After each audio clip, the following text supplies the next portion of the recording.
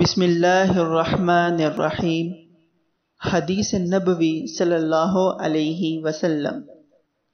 مجھے اللہ کی طرف سے حکم دیا گیا ہے کہ لوگوں سے جنگ کروں اس وقت تک کہ وہ اس بات کا اقرار کر لیں کہ اللہ کے سوا کوئی معبود نہیں ہے اور یہ کہ محمد صلی اللہ علیہ وسلم اللہ کے سچے رسول ہیں اور نماز ادا کرنے لگے۔